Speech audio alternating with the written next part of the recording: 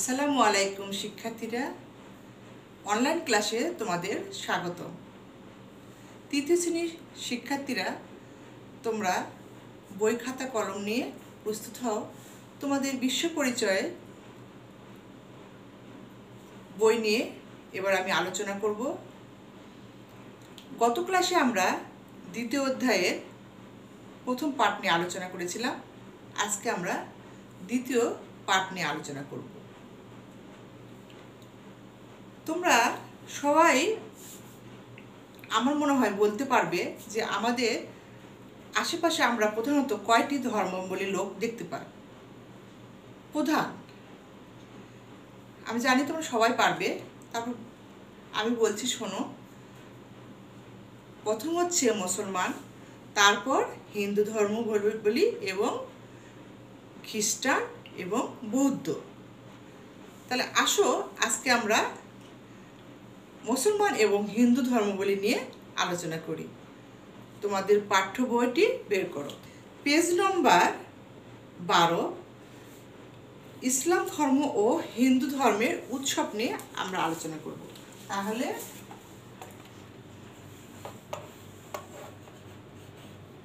ইসলাম ধর্ম ও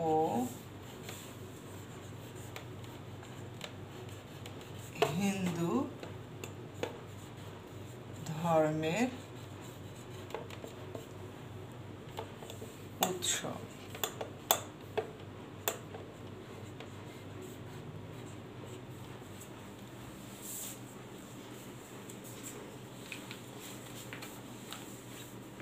দেখো, আমাদের দেশে চারটি প্রধান ধর্ম আছে। প্রত্যেক ধর্মের মানুষই কিছু উৎসব পালন করেন। ভিন্ন ধর্মের হলেও আমরা একে অন্যের উৎসবে যোগ দিই। মুসলমান ধর্মীয় উৎসব। আসো, মুসলমান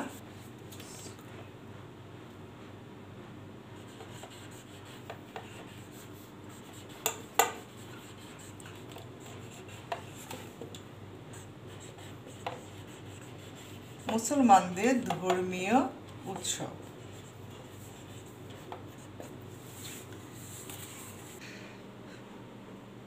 ঈদ মুসলমানদের সবচেয়ে বড় উৎসব। বছরে দুইটি ঈদ পালন করা হয়। কি কি বলতো? ঈদুল ফেতর ও ঈদুল আজহা। তাহলে আমাদের মুসলমান ধর্মের দুইটি প্রধান বড় উৎসব হচ্ছে একটি ঈদুল ফেতর, অপরটি ঈদুল আজহা। তোমরা ঈদের সময় খুব মজা করো, তাই না? নতুন জামা কাপড় কিনো হ্যাঁ? বিভিন্ন রকম খাওয়া খাও। হ্যাঁ? বান্ধবীদের বাসায়, বন্ধুদের বাসায় আত্মীয় স্বজনের বাসায় যাও, সালামি নাও, খুব মজা, তাই না? তাহলে দেখো, দুইটি উৎসব, তাই না? তাহলে আমরা একটু লিখতে পারি, এক নম্বর উৎসব কি? ঈদ, উল ফিতর দুই নম্বর, ঈদ, উল আজ হা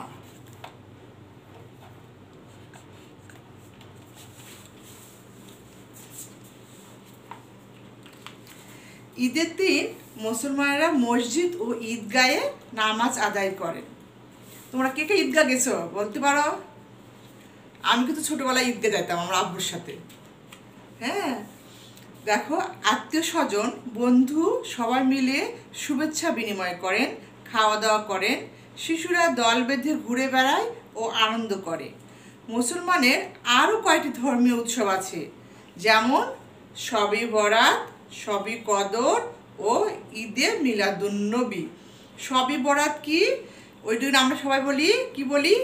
যে ওই দিন আমাদের ভাগ্য হয়, তাই না? তাই বলি। এবং সবে কদর, ওটা হচ্ছে রমজান মাসের আমরা সাধারণত সাতাশে রমজান মানে ছাব্বিশ, রমজানে আমরা এটা সারা রাত যাপন করি এবাদত করি, ওটাকে বলি সবই কদর। আর ঈদে মিলাদুল নবী হচ্ছে হজরত মোহাম্মদ সালে সালামের জন্ম দিন ও মৃত্যুদিন তাহলে আমরা লিখতে পারি সবে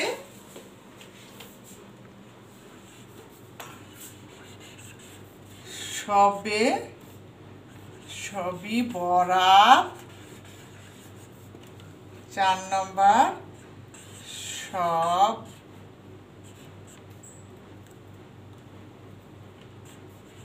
সবই কদর। পাঁচ নম্বরে ঈদ। ই মিলাদুন্নবী মিলাদুন নবী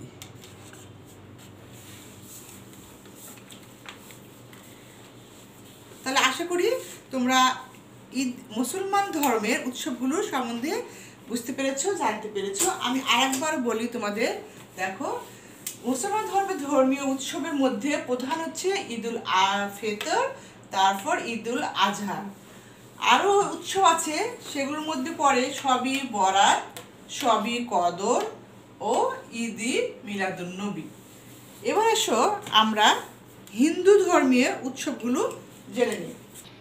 হিন্দুদের ধর্মীয় উৎসব।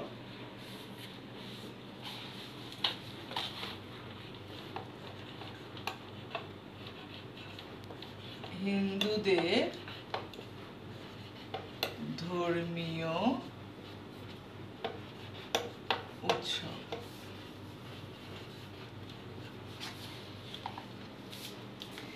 হিন্দু ধর্মে প্রায় সারা বছর নানা পূজার আয়োজন করা হয়। এদের মধ্যে প্রধান পুজোগুলো হচ্ছে দুর্গা পূজা, সরস্বতী পূজা ও লক্ষ্মী পূজা। তাহলে হিন্দু ধর্মের প্রধান পূজাগুলো হচ্ছে কি? দুর্গা পূজা, সরস্বতী পূজা ও লক্ষ্মী পূজা। দুর্গা পূজা হচ্ছে সবচেয়ে বড় ধর্মীয় অনুষ্ঠান। তারপর সরস্বতী পূজা আমার বিদ্যার দেবী বলে ওরা, লক্ষ্মী পূজা। এবার পূজার সময় তারা মন্দিরে পূজা করেন। সবাই সবার সাথে শুভেচ্ছা বিনিময় করেন। বিভিন্ন রকমের মিষ্টি, নাড়ু ও ফল খেয়ে থাকেন। শিশুরা নানা ধরনের খেলা ও আনন্দে মেতে ওঠে। আমরা কিন্তু ছোটবেলা আমাদের বান্ধবীদের বাসায় পূজা, ই পূজা দেখতে যেতাম, জানো? পূজা দেখতে যেতাম, এবং পূজার প্রসাদটা খেতাম হ্যাঁ? এবং আমাদের সঙ্গে আমরা সে বসে বসে তাদের ওই যে পূজার সময় যে বিভিন্ন রকম দিয়ে কি একটা খাবার তৈরি করে কলা টলা কি কি মেখে ওটা খেতাম হ্যাঁ? এখন তোমরা জানি না, যাও কি না? তারপরে আমাদের বান্ধবীরা আমাদের জন্য নাড়ু নিয়ে আসতো হ্যাঁ? খুবই মজা করে আমরা খেতাম সবাই মিলে। তাহলে দেখো, তাহলে আমাদের প্রধান পূজাগুলোর নামগুলো আমরা জেনে নেই। এক নম্বর হচ্ছে দুর্গা পূজা। দুর্গা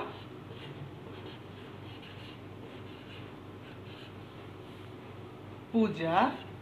দুই নম্বর হচ্ছে সরস্বতী সরস্বতী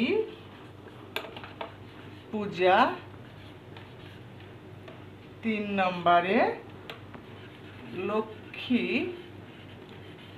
লক্ষ্মী পূজা। আমরা হিন্দু ধর্মে প্রায় বারো মাসে বারো মাসে পূজারা পূজা কিছু বলে থাকে, কিন্তু আমরা সাধারণত এই প্রধান প্রধান তিনটা এর মধ্যে প্রধান তিনটা আমরা বেশি পালন করি এবং দেখে থাকি। তাহলে আহ, দুর্গাপূজা সরস্বতী পূজা ও লক্ষ্মী পূজা। আমরা মুসলমান ধর্মের উৎসব এবং হিন্দু ধর্মের উৎসবগুলো জানলাম।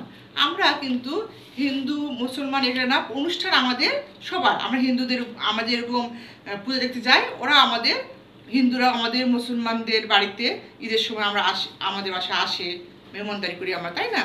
তো অনুষ্ঠান যেটাই হোক আমরা সবাই আমরা হিন্দু, মুসলমান কোনো কথা নাই।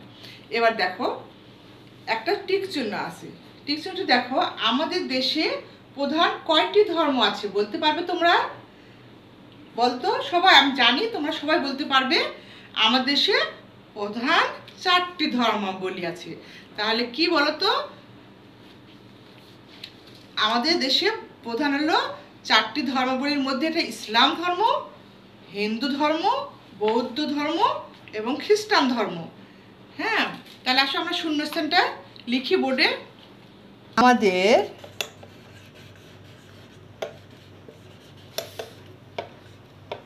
দেশে প্রধান প্রধান ধর্ম কয়টি? আমাদের দেশে প্রধান ধর্ম কয়টি? তাহলে উত্তর কি হবে? চারটি, তাই না? উত্তর হবে চারটি। কি কি? ইসলাম ধর্ম, হিন্দু ধর্ম, খ্রিস্টান ধর্ম, বৌদ্ধ ধর্ম। আশা করি তোমরা এই অধ্যায়টি, এই পাঠটি পড়ে তোমরা বুঝেছ। আবার সুন্দর করে তোমরা বাসায় পড়বে। তাহলে আজকে এই পর্যন্তই। তোমরা ভালো থাকো সুস্থ থাকো নিরাপদ থাকো। আল্লাহ হাফেজ।